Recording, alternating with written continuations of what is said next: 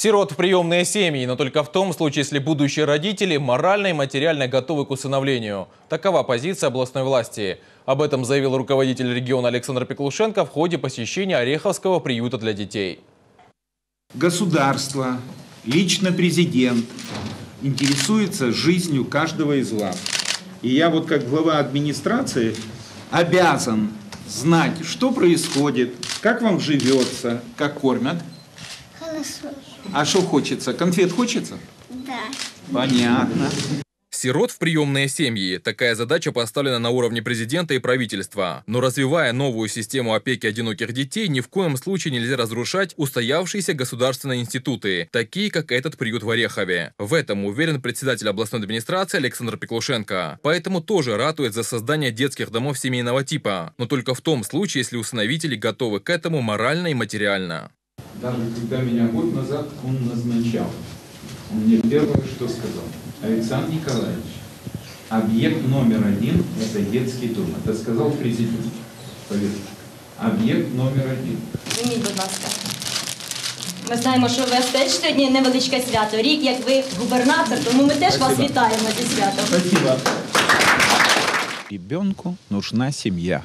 А для того, чтобы была семья, надо, чтобы люди с мозгами, с совестью и с деньгами э, не думали, куда девать свою энергию. Сегодня во всем мире стоят очереди на усыновление и удочерение. Наглядным успешным примером создания детского дома семейного типа признана семья Светланы Петрушенко. У нее один свой ребенок и пять приемных. А батька де? Нема ж у нас батька, ми ж самостоятельна жінка. Одна? Ну чого одна, дивіться скільки. Нас много. Они ее называют мама искренне, и взрослые, и средние, и младшие. И она думает еще об одном ребенке. Это чистые дети, это э, дети, которые на лицах и глазах написано никогда не будут ни пьяницами, ни алкоголиками, ни тунеянцами. Сами государство, то, что платит нам государство. Вот. Мы на эти деньги живем. Плюс я ну, работаю, я еще частный предприниматель.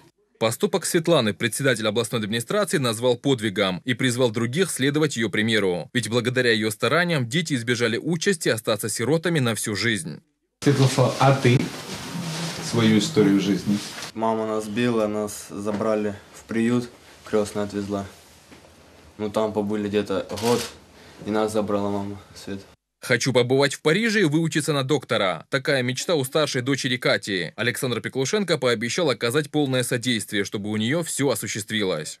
Дальше мы с тобой пойдем поступать вместе. И мы с тобой поступим в медучилище, я это обязуюсь. Поступим. Веришь мне? Да. В медучилище мы поступим, а дальше уже все твое. Все твое. Пока оформляется путевка во Францию, всей семье преподнесли новую стиральную машину. В знак признательности дети подарили Александру Пеклушенко свои рисунки и угостили чаем.